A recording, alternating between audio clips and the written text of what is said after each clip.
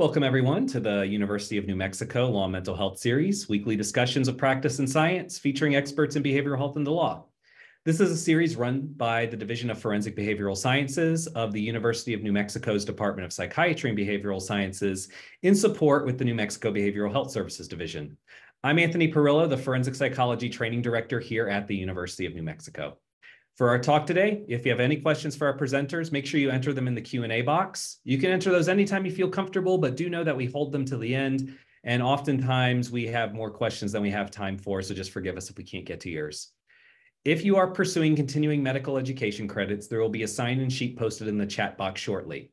Keep your eye on the chat box if you're also pursuing APA continuing education credits, but know that the link for that will be in the last latter portions of the presentation. Uh, there will be a link for a survey for you to complete. Make sure that you can bookmark that if you're not opening it up right now. And make sure you save your certificate after you complete the survey because we don't have access to those after the fact. If you missed last week's talk in the series, Dr. Bill Frankenstein's dive into assessing substance use allegations in high conflict family court cases is now available on our YouTube channel. The recording for this week's talk should also be available on our YouTube page later this week, and the PowerPoint slides will be accessible for people registered for the series later this week as well. As a heads, week, heads up for next week's talk in the series, we'll have Dr. Anna Feynman, who will be discussing psycholegal considerations around the incel movement. But let's get back to this week. Uh, I'm honored and excited to introduce you to today's speaker who'll be discussing identification of survivors of child commercial sex, sexual exploitation. This is Dr. James Andretta. Dr. James Andretta is a board certified forensic psychologist who develops adolescent and adult forensic mental health assessments in the Portland, Oregon area through Bridgetown Psychological. In addition to his clinical work, uh, James has published over 50 manuscripts and co-edited a 2019 special issue of Behavioral Sciences and the Law with senior editor Christopher Slobogin on the use of statistics in criminal cases. Last year, he was named a fellow of the American Academy of Assessment Psychology and also received the Social Justice Leader Award, an honor presented by the Human Trafficking and Social Justice Institute at the University of Toledo. Uh, James has also served on the American Psychology Law Society's Committee on Broadening Representation, Inclusion, Diversity, and Global Equity. This is where I've had the pleasure of meeting him, uh, and is also on the Teaching, Training, and Careers Committee. As if he wasn't contributing enough, he is also a current member of APLS's Diversity, Equity, and Inclusion Task Force since 2022. So, Dr. Andretta James, uh, on behalf of the, the, University of New Mexico, uh, it's a thrill to have you joining the series, uh, and we're thankful for having you sharing your expertise with us today. I'll uh, go ahead and throw it over to you. Thank you so much. I'm very honored by the introduction and honored to, to be here today. Um, thank you uh, so much. Thank you. Um, yeah, so, so today I'm going to be talking about um, uh, the identification of uh, survivors of the commercial sexual exploitation of, of children. Sorry. I'm going to move through these, sorry. Um, and just to begin that, you know, my, my opinions aren't necessarily shared by, by the University of New Mexico. Um, you're going to be hearing CSEC a lot today. Um, and as Anthony pointed out, that stands for the commercial sexual exploitation of children. Um, some folks say human trafficking or sex trafficking. Um, and those words I think work fine, but for me, they're less uh, socially, they're, they're a little more socially complicated than, than CSEC, kind of in the way that, um, you know, homeless is, is a complicated word and houseless or unhoused is, is not. Um, so my objectives today is to first begin by uh, describing recent developments in law and practice um, to address CSEC in the United States, to also describe um, extant efforts to identify, to identify CSEC survivors and those who are at risk of CSEC. Um, and then my third objective is to discuss some improvements that we can make on the identification of uh, victims and or survivors and uh, those who are who are at risk. Um, beginning with some cultural stuff. Uh, my name is James. I identify as male and I use he and him pronouns. Um, if if folks uh, chime in, feel free to please uh, make make that clear as well, so that we don't have um, awkward or inappropriate moments. Thank you. Um, I also just want to uh, accept that, you know, I'm a white heterosexual male. I grew up in a middle, upper middle class family, uh, went to private schools. I don't think you can do that process without coming out um, you know, with with some some prob problematic uh, imperfections, and I I choose to acknowledge those as a way to stay on my toes to monitor and improve my behavior just realizing that you know i'm really not an exception to uh, the way society um, uh, forms forms all of us sometimes in very problematic ways. So if i say something that makes you feel uncomfortable or is inappropriate uh, please let me know. I'm always looking uh, for for ways to self-reflect on how my behavior is affecting other people. Um, another cultural consideration, um, just like a lot of uh, other things um, in this country um, that are adverse, they disproportionately fall on the backs on folks who are already marginalized. Um, and so we just want to be careful around some of the, the language we use when we're talking about uh, CSEC survivors. Um, in terms of kind of a working definition of uh, CSEC, basically anytime uh, children, sex, and economies uh, intersect, um, we're talking about uh, we're talking about CSEC probably in some way. Um, in terms of the, the prevalence of this problem in this country, we really just don't know, um, unfortunately. Part of the issue is that a lot of CSEC survivors aren't even sure they're being trafficked themselves. Um, for example, some folks think they're just doing um, favors for a, a, partner of theirs. Um, another uh, obstacle to data collection on prevalence is that survivors who are aware of their uh, status um, are reluctant to disclose, and we just simply do not have kind of working, developing, reliable databases at this time. Some data points we do have is that National Center uh, for Missing and Exploited Children estimates that it, you know about one in six of their cases uh, involves an individual who's likely a CSEC victim. Um, I will I will say that I, I don't know how they established um, likely, unfortunately. Um, Illinois has released um, statistics, um, and uh, you know they identify that about 419 uh, children in their state um, between 2011 and 2015 were um, identified survivors CSEC. Keep in mind, there's three about three million children in Illinois during that time, um, and so uh, you know th those numbers are are pretty low, and, it, and it's hard to get those those numbers. A data point. Crude estimates are at about you know, in a country that's, you know, over 70 million children.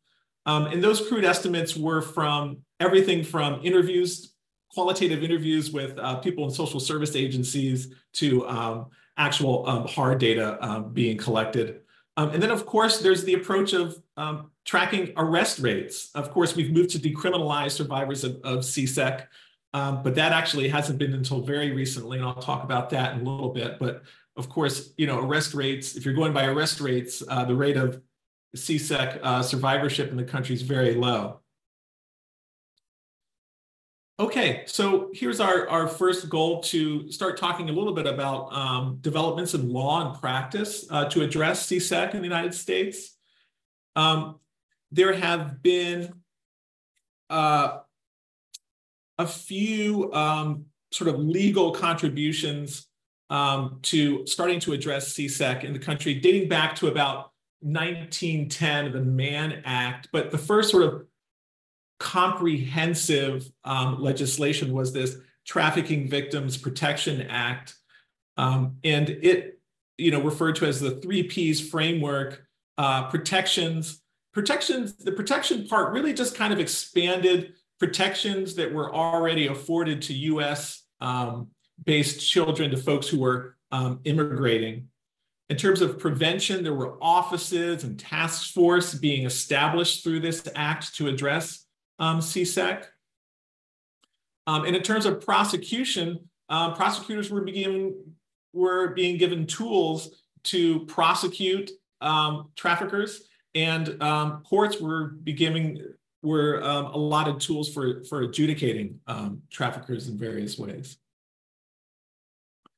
Um, a series of reauthorizations um, occurred. Um, a very large one occurred in 2003, which again began with um, expanding tools for prosecutors to prosecute traffickers, um, adding civil remedies for uh, civil litigation against traffickers.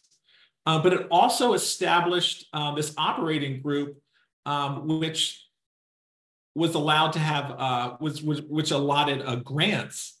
Um, and it also required the attorney general to, or mandated the attorney general to uh, develop an annual report on human trafficking. So here, here are here's the series of uh, recent reauthorizations of that act. I'm not going to go through um, all of them. Um, I will say that the reauthorization in 2017 is particularly relevant to our uh, the talk today because it required the Attorney General to issue uh, a human trafficking victim screening protocol.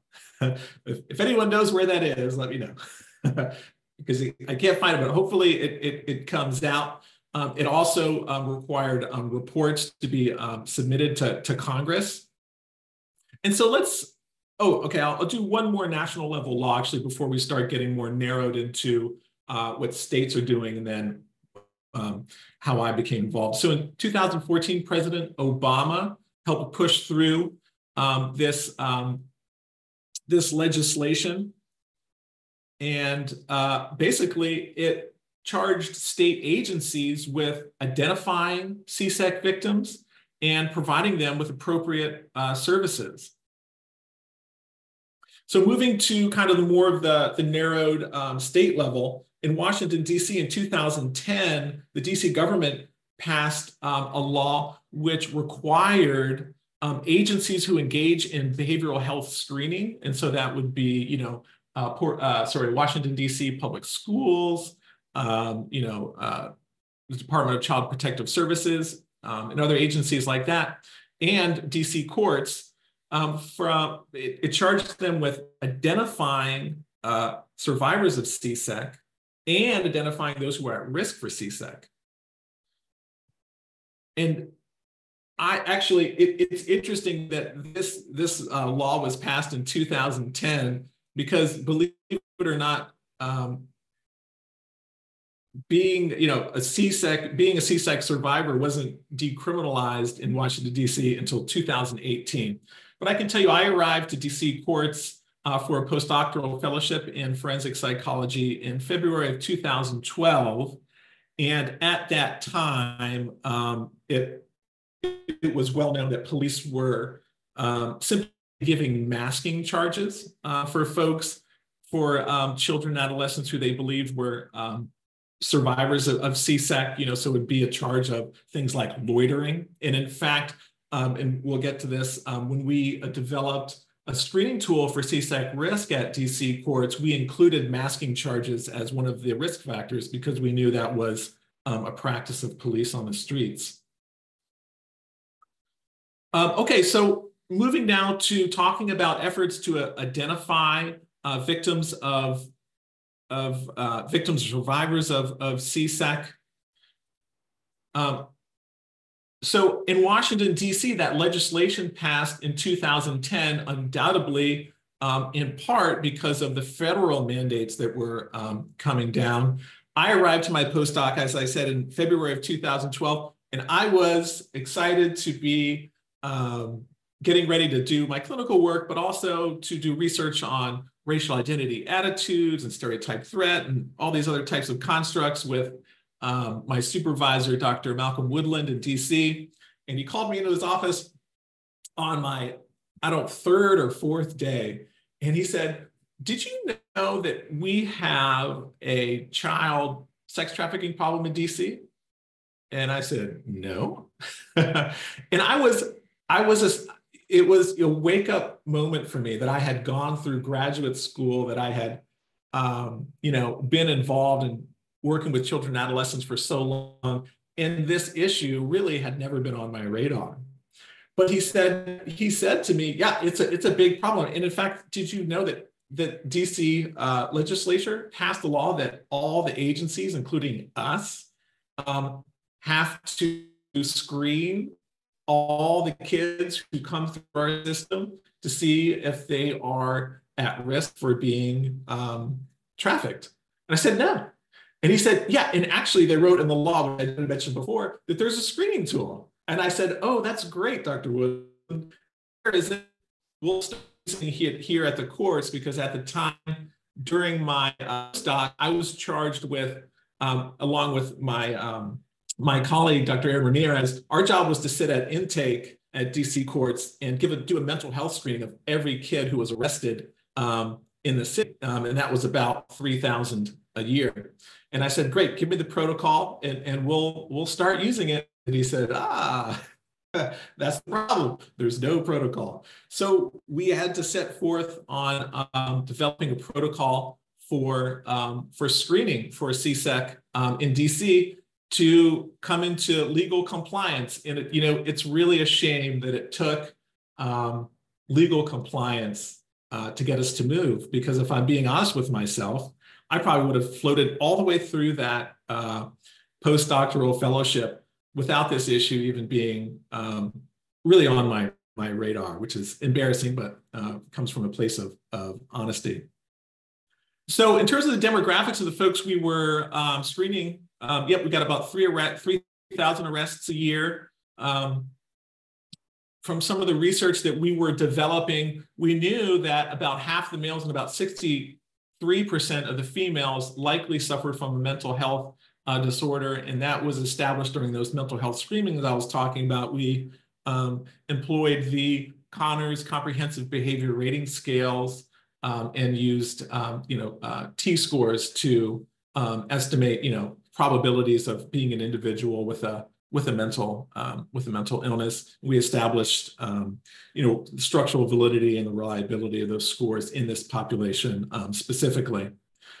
One of the major uh, obstacles that we were um, that was put on our radar when we began to think about what questions to generate for children to get at their risk for CSEC uh, victimization or risk was that um, stakeholders in the area were telling us, um, you know, you can't ask them if they're survivors because one, police aren't asking them if they're survivors. When they get to, to juvenile detention, um, even if it's just for a short period, they're probably being asked again. And all these questions are, are can be pretty traumatizing. So you've got to figure out a way to ask them without asking them. Um, and so that's what we set, set forth um, to do. At the time, there were already two, uh, well, one published, the Intersect, and one unpublished, the Intervene, screening protocols to um, assess risk for um, CSEC uh, victimization, survivorship. Um, and these are, these are great protocols for anyone who um, is is interested in implementing this at, at their agency. They're great. Um, they, they include a lot of open-end questions. They are sort of multiple stage um, interviews, and, and the, the stages go from less intrusive to more intrusive to more intrusive. And it's kind of like, you know, triage. So not every child goes through all the different stages, only the folks at the high, highest level of risk. And then at the end, there's this subjective, um, qualitative um, decision-making system on whether or not this person should be um, recommended or referred for um, intervention. I recommend the, inter the intervene and the intersect. Um, the information that we got from, from their studies was that um, items to think about in terms of when you're sitting down to, to, to ask a child questions to get some get some insight into their level of risk are you know do they have an inappropriately older boyfriend or partner? Um, is there a tattoo that is suggestive of branding? Uh, do they have items that they didn't buy that seem very expensive and might not be in keeping um, with something that someone that age would have? Um, also hey the frequency and duration of runaways um, a history of court contact like we were talking about before um, there might be a laundry list of what we call masking charges like loitering and um, things like that. And then, of course, um, the, uh, the observation of, of bruises, which is um, an indicator of, of, of abuse, of course, more broadly.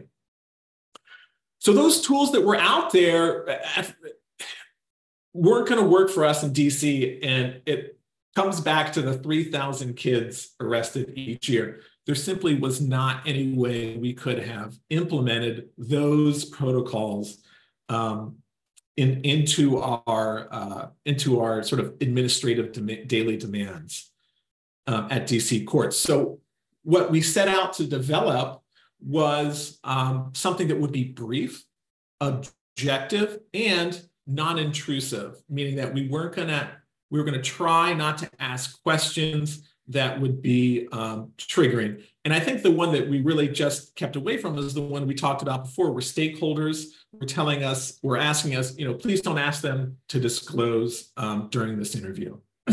we thought, okay, so what we'll do is we'll develop an index of risk and we'll refer out to um, to agencies, and those agencies will handle um, disclosure. Um, okay, so we so we wanted it to be quantitative, and we set up um, an, an ordinal scale. We gathered items using some of the information we got from Intersect and their Intervene. I also developed a literature review and, and developed um, items that we moved forward with um, piloting.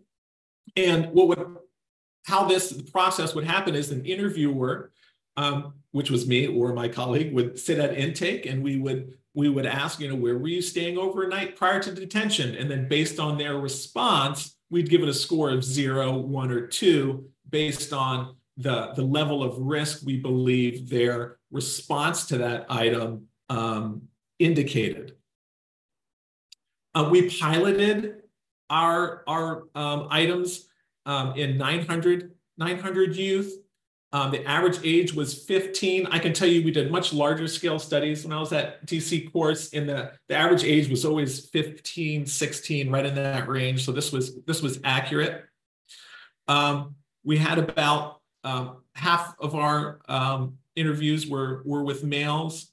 95% um, of the population was African American, which was in keeping um, with all of our other studies.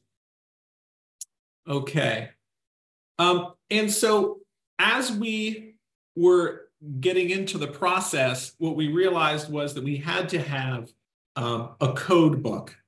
And the code book had to get you know, sequentially more nuanced for us to have um, accurate scores. And we also wanted to keep up with inter-rater reliability. So this is just an example of a of a, of an item in our in our code book um, to help the um, clinician during the interview come to the same score other clinicians um, would come to, so that we would have inter-rater reliability.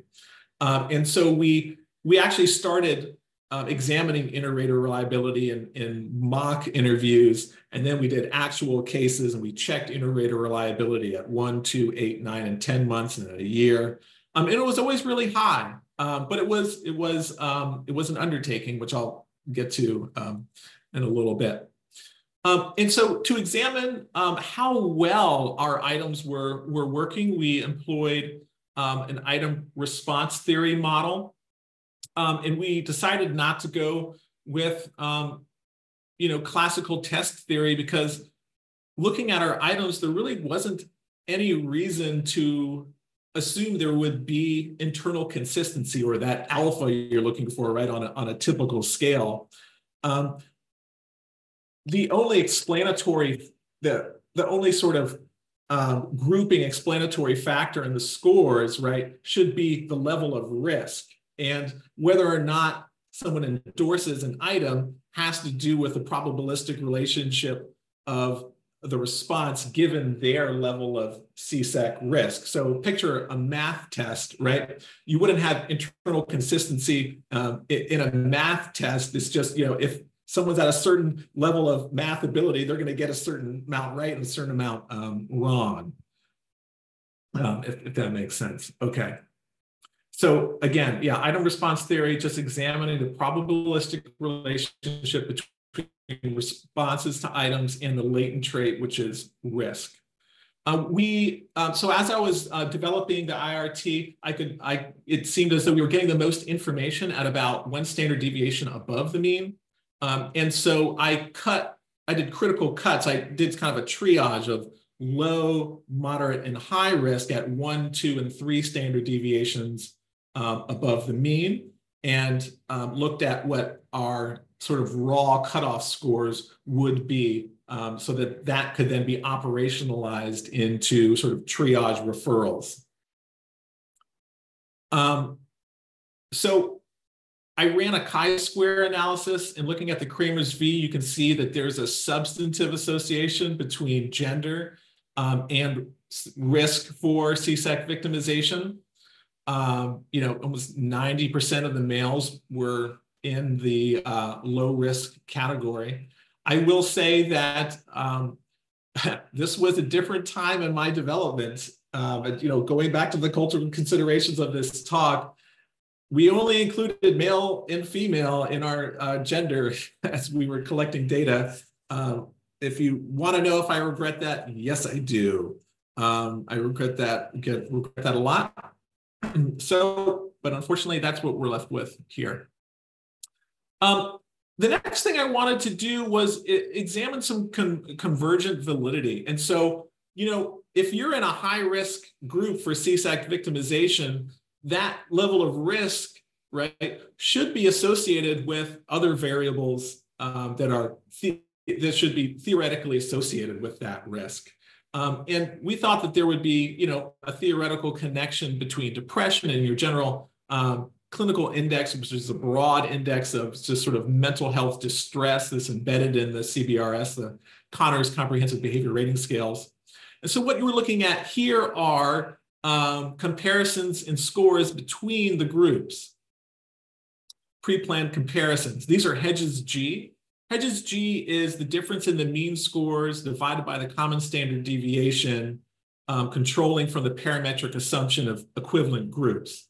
So for example, let's just look at, um, if you look at the difference between the low risk and the high risk group, it says negative 0.94. That's because the low risk score was then subtracted, the high risk score was subtracted from the low risk score. And the information you're getting is the difference in scores on our index of risk, the star, was about almost an entire standard deviation. 0.94% uh, of a standard deviation difference in the scores there. And so what we showed was that when we're comparing the low and the high risk groups, even the low with the moderate risk groups, there's substantial differences in what these folks are uh, reporting on with regard to their experience of depression and mental distress more broadly. Um, I also, uh, we also included in our protocol the um, attributions and perceptions, the, sorry, the children's attributions and perceptions scale, which is an index of um, attributions and perceptions that are widely known to be held by children who are the victims of sexual abuse more broadly. Um, and what we, what we found was the folks who were being identified at high risk for CSEC uh, victimization reported that they felt different than other peers their age. And they felt a lot more different than other peers their age than the moderate risk and the low risk groups. Uh, the high risk group was also much more likely to attribute negative events in their lives to themselves, to take on that blame. Okay, so what we're seeing is our scores in our risk protocol are, are associated with, with other uh, variables that should be theoretically associated. So this is establishing convergent uh, validity. Uh, here's our high, our high risk or moderate risk and our low risk groups. And I'll say anyone who's listening right now, and you know, if you're thinking about establishing using whatever risk tool you decide to use, you can always, I'm going to flip back up here real quick. If referring agencies are telling you an exact percentage of folks that they can take on in terms of a referral for a further interview about risk or to get treatment as a CSEC uh, survivor. And they say to you, for example, we can, you, how many people come to your agency? And you say a thousand. And they, they say, okay, we can take 5% of that. You can always set cutoffs for your identification of risk to meet the administrative demand and not necessarily um, something that's kind of based more on the population that you have um, in, in theory, right? And so we got lucky in that we found out that our referring agencies in DC, they could take almost 20% of uh, the folks who got uh, arrested each year. And so we gave, we would refer out our moderate and our high risk groups. Um, but if they weren't able to do that, all I would have done actually is I would have just adjusted our cutoff score so that the group that can be manageably referred um, is identified as the high risk group. So then high risk becomes your risk relative to your peers, but also in the context of the administrative demands of the agencies, the, you know, the, the environment of agencies in, in which you work. Um, and so our moderate risk group would was, was identified as folks with kind of a, less immediate need for mental health intervention. Um, they would get a, a, less intrusive, a less costly intervention. Um, wherever their agency was, they would get sort of a CSEC information session, uh, for example, low, low intrusion stuff. Our high risk group got mental health treatment. They were referred out to CSEC specific agencies, which were there, were very few in DC. And they also got referred to something called in DC called the multidisciplinary um, team. Um, and there was sort of this three stage process, right? So we would determine if the use is, was engaged in mental health services or not. And if not, get them engaged with a provider. Um, and then they would be uh, referred to this multidisciplinary team that met monthly, did case reviews, and developed individualized multidisciplinary intervention plans. And it was a great, it's a great group, and it, can, it included representatives from all the major agencies um, in Washington D.C. Kind of, you know, banding together and uh, pooling resources, pooling intellectual uh, knowledge and um, expertise and experience, and uh, providing these kids with um, individualized um, interventions.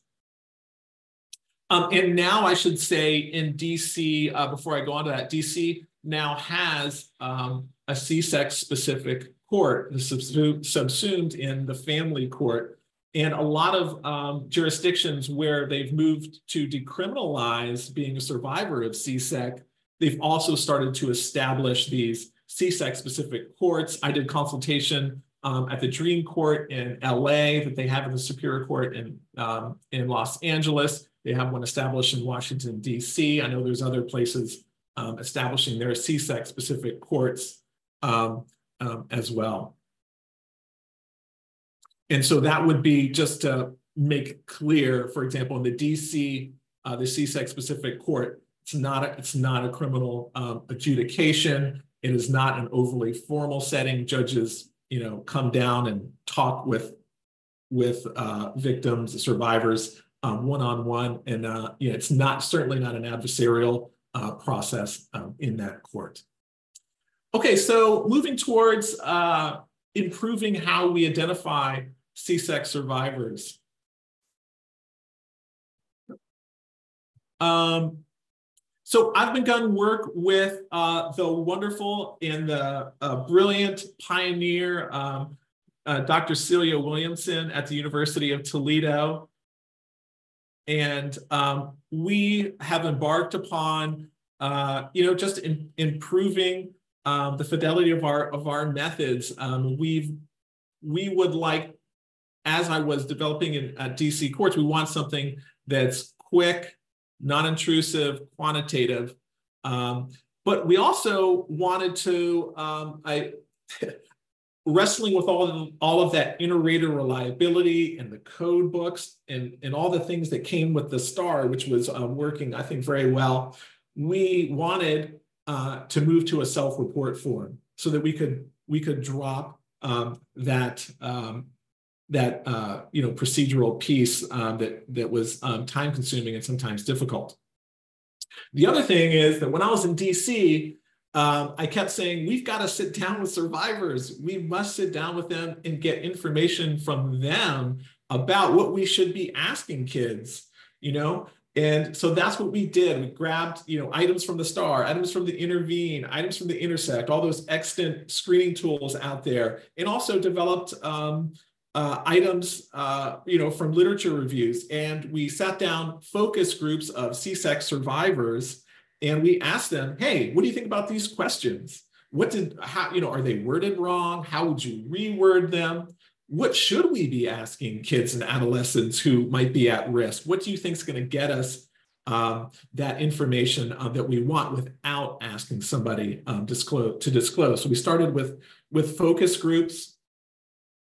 Um, and we developed a 15 item um, index of, ris of risk for CSEC victimization, uh, which I will refer to as the focus. The focus is subsumed already in a large scale uh, intervention model that Dr. Williamson um, has developed and has had um, children and adolescents involved in for many years now. Um, uh, so really, this is really um, kind of working backwards, right? She had the intervention, and now we're getting a screening tool to, to get kids there.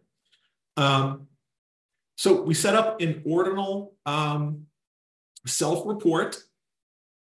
and then, you know, the, the first thing that I did with, with the data after we started to um, pilot it um, is something that I hadn't done in DC, um, and I and I kind of regret.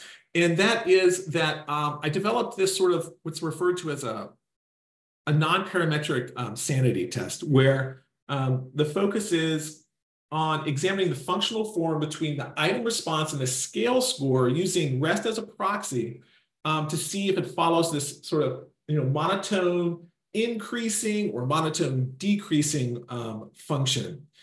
So if you look, if let's just talk for a second. So here, here's how it was scored. Um, our, our, our, all our items were ordinal. Zero, one, two, three, or four um, is what um, the children and adolescents could um, endorse. Let's just look at the score of zero. Score of zero okay, is the line that's at the top that goes from the top left and, and has, you know, a monotone decreasing function, that relationship between the scale and the item response, right? And so this is what this means. So look down at the bottom um, below that line where it says zero. So what that means is that if the average score on all the other items and this is for item one. So this is just the plot of item one. If all this, if the scores on all the item, other items for this individual were zero, what's the probability of also endorsing zero for this item? And it makes sense, right? If if zero was the average for all the other items, very high probability of endorsing zero on this item. And then that probability goes down, right? and it should be if all if you're if you're reporting a score of zero on all the other items there should be a very low probability of you in, endorsing somewhere between you know a three or a four right? And so that's why it's you know monotone decreasing. The other scores right one two three and four were not um, monotone increasing or decreasing. And so what that tells us is that we have a dichotomous scale. Um, in all the other items, um, our uh, characteristic curve plots looked very similar. And so what that was telling us is maybe risk is more um, di dichotomous um, than nuanced ordinal. Okay. um, so let's see. And so let's just talk broadly uh, about what where are we getting the most information um, from our items. So from the InterCSEC, it's they they reported that um, Salisbury reported that we're getting the most information from child protective service involvement, um, gender, females more at risk than, than males, runaway behaviors, um, their current living situation, right? If they're living with someone who's not a family member, or maybe just a friend, or someone uh, they identify as a partner. Um, um, in terms of the star, we were getting the most information about risk um, as conceptualized here in discrimination um, statistics, how well an item discriminates between individuals with different levels of CSEC risk. And the most information we were getting um, in DC from the STAR was running away behaviors, um, including the both frequency of running away from the home and the duration that children or adolescents were absent from the home. Um, um, in terms of uh, the focus, when we were um, developing gathering data in in Ohio, uh, the most information we were getting was from an item about whether that item we were talking about that I used in DC um, from the children's attributions and perception scale, we reformulated that that item. Um, so the degree to which an individual feels older than peers that are the same age was giving us the most information about risk, uh, risk for CSEC um, uh, survivorship. If you're being feel like you're being treated older than other kids your age, that was an, a strong indicator of risk among um, adolescents and ch children and adolescents in Ohio. Um, also, if your friends are engaging in behavior uh, that's typically not approved by adults, that was a, an item that was good at discriminating between individuals with high and low levels of risk. And utility and security. So um, our list included things like, you know, um, uh, inconsistent access to um, electricity and all those kinds of things. Um, and then even not, not consumption, but just thinking about drugs or alcohol in the past month. Um, place of residence at the time of, of the interview, um, having ever been in foster care. Also items we're getting a lot of information from. Uh, and I'm going to have to, I'm opening up my slideshow in another page because I can't actually, because of all the things on Zoom, I can't see my titles here. So I'm going to move to, sorry about that, where I can see, actually see my, my titles. All right. Um, okay. Previous charge of, of solicitation um, and with whom someone resides. These are all items that are, are giving us a lot of information about um, CSEC um, risk. Okay. Um, and that was with the, oh, this was with the, with the star in, um, in DC. Okay. And so now we're going to look at difficulty um, estimates, and that is how much latent trait do you need for the probability of uh, endorsing an item being at about 50%. Um, and so running away from home in the past month um, was an item that uh, required a, a, high level of, of risk.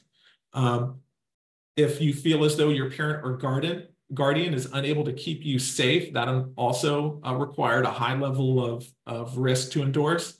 And utility and security, which we know also is very good at discriminating among individuals with different, different levels of risk um, and whether or not someone actually consumed alcohol in the past month. Those were all the items that um, required a high, the highest level of, of risk um, for folks to endorse. Okay, so um, the next thing I want to talk about a little bit is, is measurement um, invariance. Now, when I when we piloted the study in, in Ohio with the, the kids and adolescents in Ohio, um, we had a lot of different gender identities um, to, to choose from. And we also had an open-ended question, you know, an open-ended response option, you know, if we didn't uh, describe um, a, a, gender identity that someone identifies with, they could, they could write it in. Over 90, over 90% was just male, male or female. I don't know what to, to make of that. I find um, it's uh, but at any rate that's what we had i examined gender invariance of all the all the items on the focus um, and we found that only one or two um, were were not gender um, in, invariant um, but i think gender in uh, different area there are other areas to continue to examine where measurement um, there might be uh, you know where we need to establish measurement invariance. One thing that's coming up is that in all of these studies, right, in a DC courts and now in Ohio, which we developed through social service agencies, is that we're kind of piloting these uh, protocols in agencies where we know there's a high level of risk. So we need to start piloting these protocols in places that include sort of uh, folks in the more in the general population, folks who probably or might not be at risk. You know, maybe public school settings, which include a mix of folks with who are at risk and, and who are not at risk. We don't really know how well these scores are going to work um, or how they compare to folks in, in, in the general um, population. So we need to expand um, the populations where we're studying these scores, and that would open the door to more examining, examinations of measurement invariance across various populations. Um, I put age as a question mark here. Uh, believe it or not, um, you know, a, a, way to establish discriminant validity um, of CSEC risk screening tools is to include age. Yes, convert not convergent validity, discriminant validity, in that uh, theoretically age is actually not um, associated uh, with risk for CSEC victimization. Um, and in fact, looking at the, the scores that the STAR produced in DC, um, adolescents who were court involved in DC, and the FOCUS scores who were uh, adolescents and children and adolescents who were involved in social service agencies in Ohio, age was almost totally unassociated um, with, with, with risk. Um, I age is yet to examining measurement invariance across age groups has has yet to be done though. Okay. All right. Okay, so um, in summary, uh, you know, the federal government uh, set down um, uh, some, some mandates and some comprehensive um, legislation, which then trickled down to states and Washington, D.C., not a state, pretend state, and uh, then to the agencies who are, who are there working to identify folks who are at risk of CSEC uh, victimizations, folks who were um, identified survivors of CSEC, and to provide them with um, appropriate um, uh, interventions. And so that sort of was the, the beginning of construct uh, development um, in this area. And where we can expand is, I think that we need to um, continue down the focus group route um, I know we've done a round of, of focus groups and kind of reformulated items, but um, continuing to work with the children and adolescents who are trafficked to get the language right around these items and to tell us about um, areas of risk that we haven't considered. Um, that's where real item refinement um, is going to happen. We also need to expand research, um, as I said, into uh, populations that aren't as risk at, as at risk and start examining um, scores um, and compare scores with with uh, from folks who are uh, you know involved in agencies that are indicative of risk, like social service agencies and and folks who are court involved. Um, okay, and so I'm going to leave it open now for uh, for some some questions and and discussion and I'm going, I'm supposed to do this. That's right. Yeah, we'll leave that QR code open for anybody to scan. And uh, thank you so much, uh, James, Dr. Andretta. Uh, this it's, it's just eye-opening how much has gone into this, and also, you know, just the understanding the history of the the urgency and federal discussion of, you know, how to address a just such a critical critical issue. Um, and so, thank you for all your contributions in this area. Uh, for those of you that do have uh, questions, you can enter them into the Q&A Q&A box. Um, in the chat is the link that you can click if you are pursuing APA continuing education credits, or you can scroll up as well for the um, for the medical education credits. The QR code here will also get you access to that same APA CEU link survey. Um, the we have we have checked the links. Uh, they are they are indeed working. They are indeed active. Um, so please my recommendation would be to to bookmark it on the side uh, for opening it up in another web browser or so if it is not working for you at the moment. Um, so, so one question that somebody had was, do curiosity of if your measures account for online exploitation by parents, other adults, older youth, or peers. For example, parent-child accounts on TikTok, where the parents marketing and exploiting their children online. Oh my gosh. What a great question.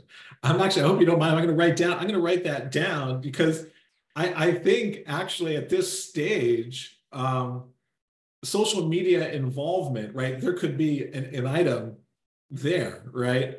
And um, and I hadn't thought about yeah, parent participation. That's interesting. Because right, because has a parent posted a video of you is a lot different than have you posted a video of yourself or has a friend post. So that's really interesting.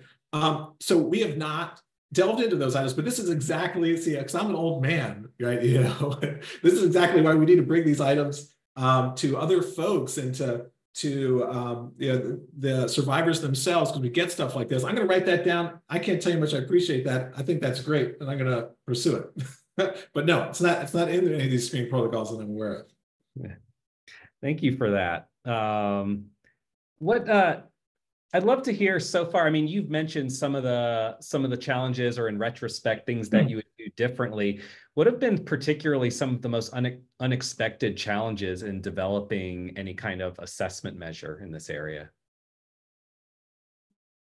Um, yeah, I mean, I in terms of um, the the unexpected challenges, um, that's a good question. Um, the the unknowns.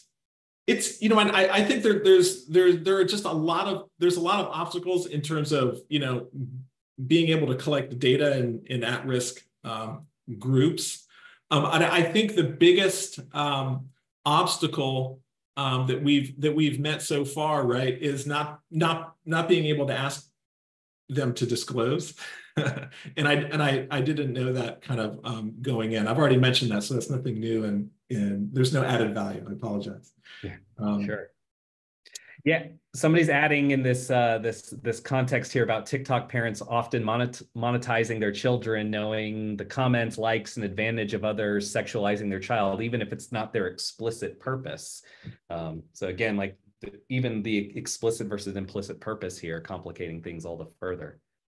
Yeah, yeah, that's it. That's interesting. Yeah, because right, that that expands what a CSEC survivor is, you know, conceptually, right? Because this isn't you, you, that that those children who are in those videos might never, um, yeah, they're exposed in some way that's that's sexual uh, that didn't happen to them.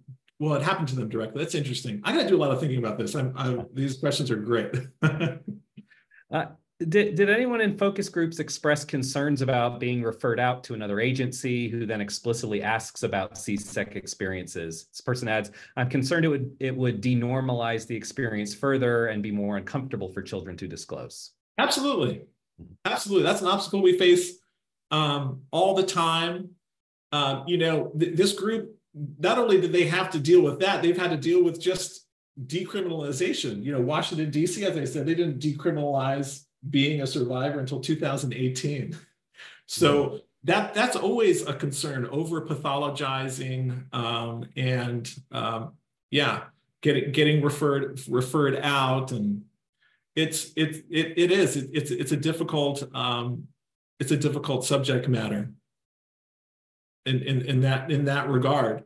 Um, and um, it's certainly um, something I think that uh, we, we should all have um, in, in our calculus. Mm-hmm. Uh, can you can you talk uh, some about how to identify tattoos indicative of branding? Yeah, you know what? Thanks for asking that. And I, I put up the items that are working. Tattoo didn't work at all. Tattoo is not. Tattoos have not um, yielded discrimination or difficulty or threshold parameters, however you want to word it, um, that were substantive. And so um, when I left DC courts and now, you know, working with the Ohio group, I, um, you know, we, we haven't had a tattoo in our, in the, in the focus.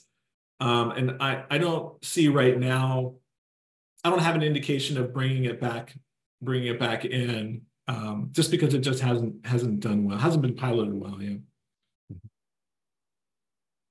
We have uh, we have a couple people that are now asking about if the is this can they utilize the star measuring tool at their agencies? Is it available for download? Is it available for sharing? At the so here's where I have to be careful with my words. Mm-hmm. DC Courts has copyrighted that, and so you have to contact DC Courts about that. I can tell you that the focus that I'm working on um, with the folks in, in Ohio, our entire purpose is for this to be open open sourced. And you know we're hoping to have it in hospital screenings at emergency departments and public schools and social service agencies. Um, and there's no effort on any of our behalves to have this you know copyrighted and and, and unavailable. So if you contact me um, through my website which you can find on the slides um, I, i'm sure i can talk with, with dr williamson. I'm sure we're, we're hoping to have our first publication out on it um, soon enough. And I know in the um, the supplemental um, uh, materials, we're going to have it right there. But I, am sure we'd be able to share it with you. Yeah, but the star is copyrighted. DC Courts wanted to copyright it. Um, I'll just leave it at that. Fair enough. Yeah, I, I, imagine related to that, or perhaps people can contact you. A question of any chance of using your screening tool for a research project in states like New Mexico, especially children from diverse communities. I, you know, this is so funny. CSEC has CSEC fell on my lap when I didn't expect it, and then it fell on my lap again when I didn't expect it, and now I've embraced it. Uh, I I would just you you could not make me a happier person by reaching out and saying, hey, I want to collaborate um, and and work on a project on this. You know, some of these screening protocols are brief and they can be integrated um, into whatever agency or research protocol you're you're working on and gosh, that would nothing would make me more happy than that than a, a collaboration. I'd be honored. I, so thank you for asking. Excellent. Please contact them. Is there a study or results uh, the, the, the difference between children being exploited by religious families, for example, Ruby Franke and Jodi Hildebrandt, versus those that are exploited due to other issues like family issues, poverty, or grooming? Yeah, so I guess for me, um, in, in my line of inquiry, See, Dr. Williamson would be able to answer your question in terms of um, uh, kind of like a, you know, emotion, uh, you know, distress outcomes or those kinds of, you know, whatever the outcome is. For me, my interest is what's your level of risk? Um, and I have wondered about, um, you know, religiosity or, uh, you know, or religion. Is it possible that, you know, it, it's some kind of item of, of indicator of risk? I hope it doesn't come to that. um, but yeah, so that's how I would conceptualize it. What item would would yield from that information from the question you asked? What how would that translate into an item that would be an indicator of risk? That's that's what I work on. Um, you know, doc, but reach out to Dr. Williamson. She's always very communicative, um, and she has been dealing. She has been working in intervention in this group for a long time and published books and all those kinds of things. So she would she'd know the answer to that. Excellent.